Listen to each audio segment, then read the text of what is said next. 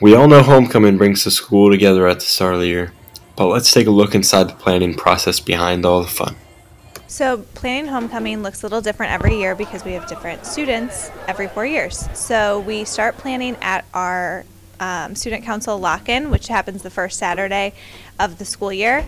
And we just kind of get ideas and gather information about what people liked from homecoming last year and what they wanted to change. And then we just kind of go with the flow and make adjustments as needed.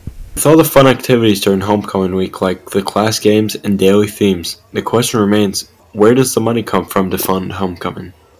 So, homecoming is actually fairly inexpensive. Um, in terms of the things that we do, we have class decorations that comes from class uh, fundraising. Then we have spirit days, which is doesn't cost anything. We have lunch games, doesn't cost anything.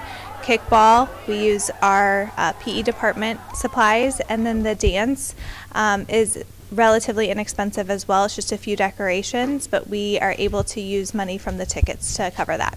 With all the ideas given by the Stuco members, it's inevitable for their hardships during the planning process. Um, I think some of the hardships is just deciding and all agreeing on like one thing because everyone has a lot of different ideas, so it's hard to just pick one. This has been James and Rayne reporting for PCH TV.